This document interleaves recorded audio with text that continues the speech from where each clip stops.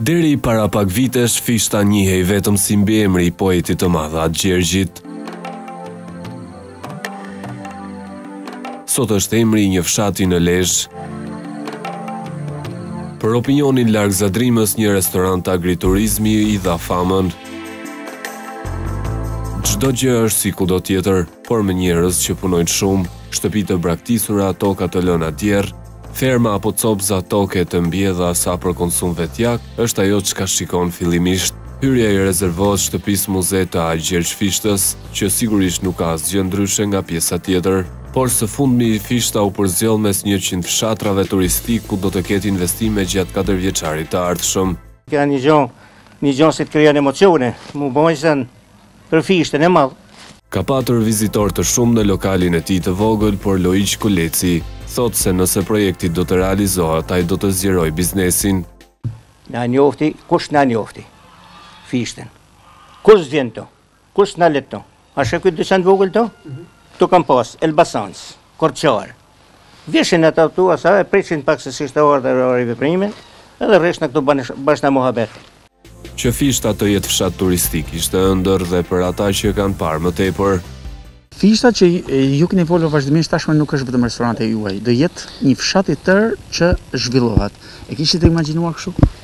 Jo, sinqerisht është është një ëndërr për ditë Fillon e kthehet në realitet. Është e paimagjinueshme, me thënë drejtën. Altin Prenga është i mendimit se tashmë nuk do të jetë vetëm në dorën e dy sipërmarrjeve, por do të aktivizohet i gjithë fshati. Tashti realisht nuk do të jetë më vetëm në dorën e dy sipërmarrjeve, sepse përveç meje është edhe një sipërmarrje tjetër turistike, një restorant, tashti do të jetë gjithë fshati që do aktivizohet.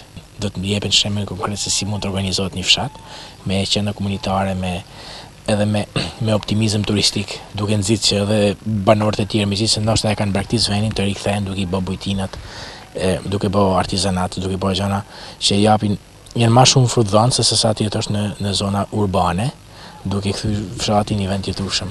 Diçka shumë e bukur, me thënë drejtën.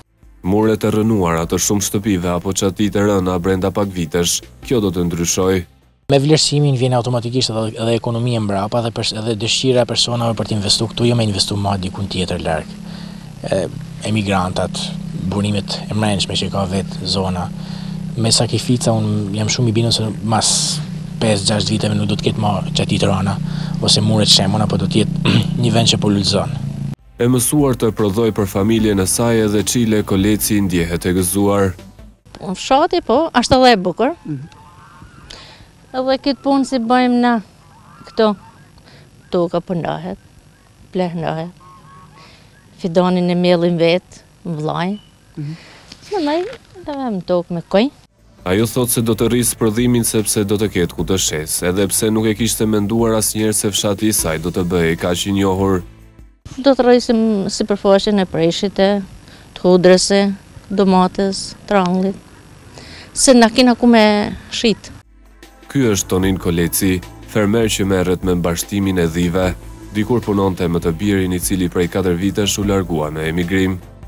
Gjithë ditën rrjedhojt e gjithë natën ngas traktorin ndarë. Mund ta krahasoj këtë gjendje të njerëzimit që ka ardhur këtu, kryesisht sidomos për brezin e ri, sikur me para një çmund një smundje shfarosëse, ka kenë dikur mortaja dhe kanë hikë e kanë braktisë vendin. Rinia krejt tu ska kush punon veç 60 vjeçat e poshtë.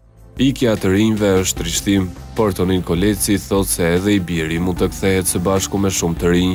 Ai ka dëshirë që kullën e tij ta kthejë në një bujtinë pasi janë të frymëzuar nga një tjetër i ri që ka ecur në këtë fshat. Edhe ato t'rinj që janë jashtë mos kujto sa kullaj të jetosh në vendin e huj. Sido që të jetë, sado mirë luks të jetosh atje, vendi yt është i yti. Pra, sikur të bëhet diçka, unë mua më merr mendja, më do mendja, më do shpirti, thamë që nuk thamë se kthejnë 100%, po vallahi 50% do të kthejnë. Mosha nuk e ka penguar Ndue Prengën të merret me bletarinë. Ai është i kënaqur që u shet vizitorëve të këtyre anëve një produkt cilësor.